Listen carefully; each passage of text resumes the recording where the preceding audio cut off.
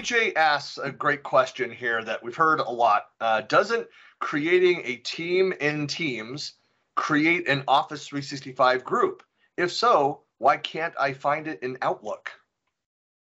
Yeah, Microsoft and their infinite wisdom when they first created when they first created Teams, they tied the two together, and then then by default it was added to Outlook, and then they decided halfway through that oh no, we're going to not actually attach the two anymore because people were getting confused because all the groups were in their Outlook.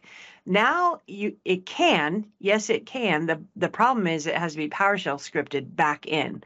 I wish it was a checkbox. Would Yeah. you like this when you create those? Can we or an make admin this? control to go and do it, right? Yeah, Just- but yeah. but no, it has to be a PowerShell script. Thank you so much, because not everybody has that ability. Um, and then now you got to involve IT, and they have to go run the script. So I don't know. Do, go ahead. why why do you care? Why do I care? What Why do you care if, the, if you have the group associated with the team?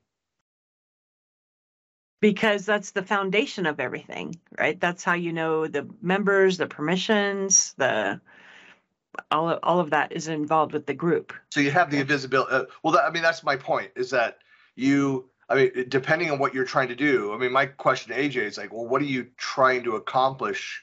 You know, Oh. by having that association, what are you doing with the group?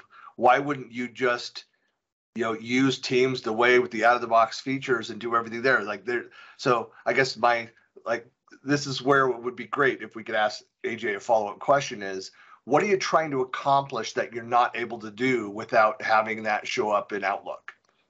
My guess is that he's trying to be use the inbox to be able to monitor the inbox locally in his Outlook. That would be my guess. Um, also, the calendar, being able to see that more easily instead of having to go out and browse to it.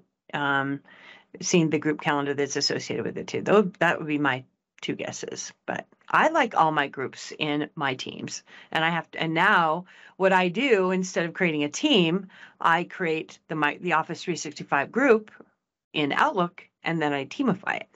So I add, I create the team from the group.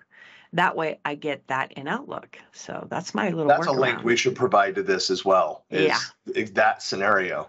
Okay, I can get those two links for you. The script to fix it if you already have one, and the my Hi. Shari's hack. The Maybe I'll do- right? Yeah, maybe I'll do a video. Yeah, That's something just- Mark Kashman talked about a lot back in the day Hmm. when we had, you know, when that was a new feature.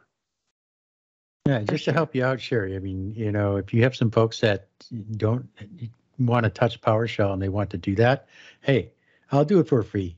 You know, just hit me up. You know, I take I take cash, credit, whatever. No, no. I'm still a scaredy cat.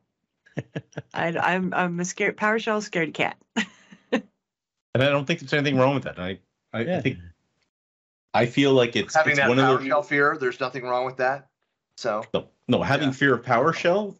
That I think that's normal because that it's that it's that barrier I think that people have to respect when it comes to Microsoft Teams and administration.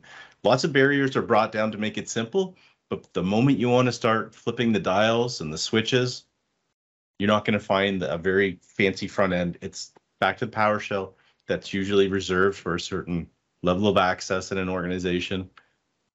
And, And hopefully a, a level of knowledge to go Right. with that security. So it's one of those things with teams. It's it seems easier to use than than really it is. It's a complicated thing and it needs to be respected as such. And there's no undo button if you mess it up. undo button. again, there, I, I know I bring this up, but that's uh, that's another space where third-party tools and a lot of the admin and governance tools provide a lot of guidance, is because it's again, it's permissions based. You have to have the right level and and you know understanding of what you're doing, so you don't go in and break things.